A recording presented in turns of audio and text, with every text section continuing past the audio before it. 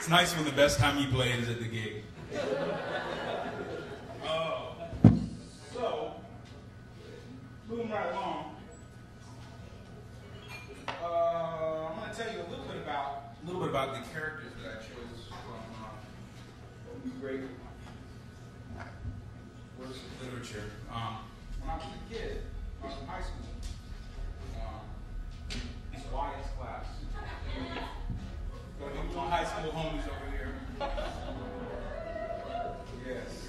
White Station High School Spartans, class of 90 in the house. Yes. Onward, Spartans, onward,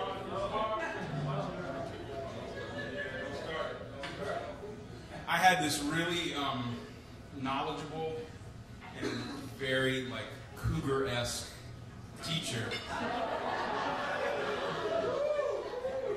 and, and it's unfortunate that we didn't have that terminology in the 80s and 90s because she she was the prototypical cougar. She would sit on stage on well, on, a, on a little stool, you know, and she'd have skirts just maybe just a little bit inappropriately short for a 49 year old woman, and that's teaching teenagers at the height of their sexual. Well, not me, but like other people were definitely at the height of their sexual prowess. Um, I, I mean, I tried, you know. But you know, shot me down. So what are you gonna do? Um, yeah. so Miss Wyatt introduced us to, to William Faulkner, and um, you know, a lot of my family comes from Oxford, Mississippi, and um, which is where Faulkner's from. And uh, I, I, read The Sound and the Fury, and I didn't get it at all uh, on the first read. And then I read it again, and then I got into some other things, and I read some of the short stories, and it was always just something that, that really resonated with me. He's like uh, such a, um, an American archetype the Southern intellectuals, someone who knows about Proust and Chitlins. You know, I, I like I like that. Really, I like that. So, um, which they go together. I mean, if you ever read some Proust while eating chitlins, I mean, it's a revelatory experience. But um, so when I got this project together, I started, you know, sort of sifting through some uh, material and rereading some things, and of course how you read something at 35 is very different from how it affects you when you're 18. So it's, it's good to keep coming back to some of these things as you get older. I find that way with uh, a lot of things. Yeah. Coltrane records mean more to me, mean very different things to me now than they did when I was a kid.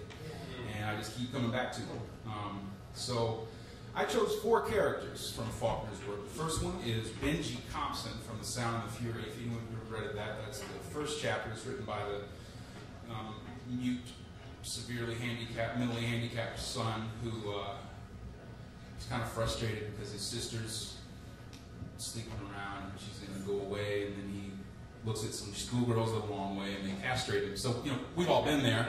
Um, you know. And from there, we're going to play, uh, and that's, that song is called Looking All Around. And it's very stream of consciousness, which is kind of how that chapter is written. From, from there, we're going to move to uh, As I Lay Dying, written from the perspective of a son whose name is Jewel Bundren. And he's angry for different reasons. His mother's dying, and his brother is uh, making her coffin outside of her window while she's still alive. So that's, you know, kind of idiotic. He's not happy about that. So then we move to uh, one, of, one, of, my new favorites, which is the, uh, it's called Light in August.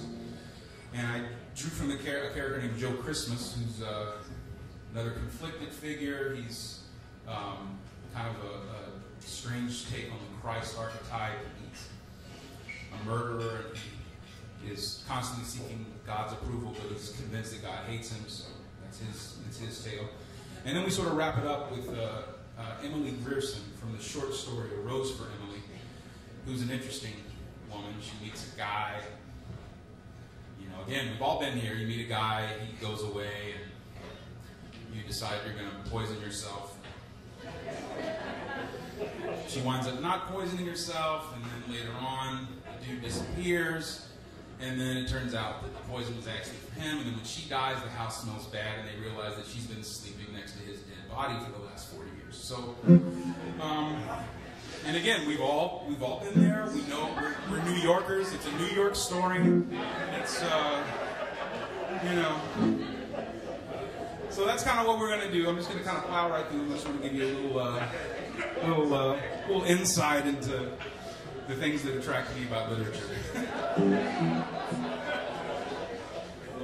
yes, sir.